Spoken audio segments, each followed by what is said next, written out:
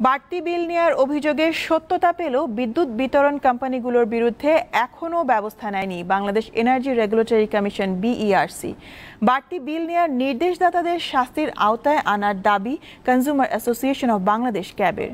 তবে বিদ্যুৎ প্রতিমন্ত্রীর আশা, জড়িত কাউকেই ছাড় দেয়া হবে না। গত মার্চ থেকে জুন পর্যন্ত গ্রাহকদের কাছ থেকে অতিরিক্ত বিদ্যুৎ বিল আদায়ের অভিযোগ ওঠে পিডিবি, ডিপিডিসি, ডেস্কো, বিআরইবি ওজো পাডিকো এবং নেস্কোর বিরুদ্ধে। ঘটনার সত্যতাও পায় বিদ্যুৎ বিভাগের গঠিত টাস্কফোর্স গত পাঁচ জুলাই ডিপিডিসির একজন নির্বাহী প্রকৌশলী সহ চারজনকে সাময়িক বরখাস্ত করা হয়। ছত্রিশ জন নির্বাহী প্রকৌশলীকে দেয়া হয় কারণ দর্শানোর নোটিশ। এছাড়া ১৩ জন মিটার রিডার এবং ডেটা এন্ট্রি অপারেটর সহ চোদ্দ জনকে চুক্তিভিত্তিক কাজ থেকে অব্যাহতি দেয় ডিপিডিসি।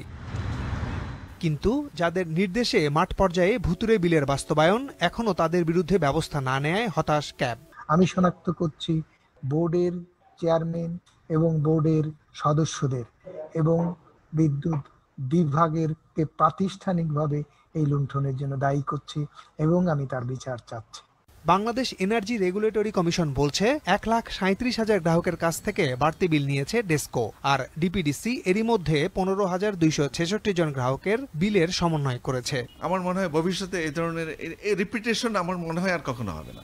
যে এস্টিমেটেড বিল দিয়া গ্রাহককে হয়রানি এরকম কখনো হবে না। এস্টিমেটেড বিল হতে পারে, কোনো কোনো কোনো, কিন্তু এই একবারে সেই ঢালাওভাবে কখনো এস্টিমেটেড বিল হবে না। এই অতিরিক্ত বিল একটা বিব্রতকর অবস্থা।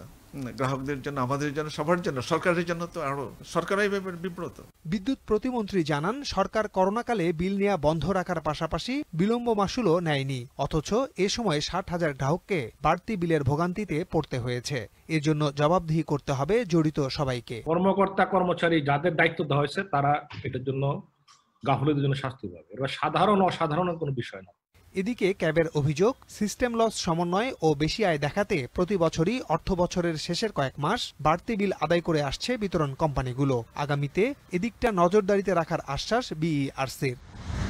মাহমুদ শাওন, দীপ্ত সংবাদ, ঢাকা।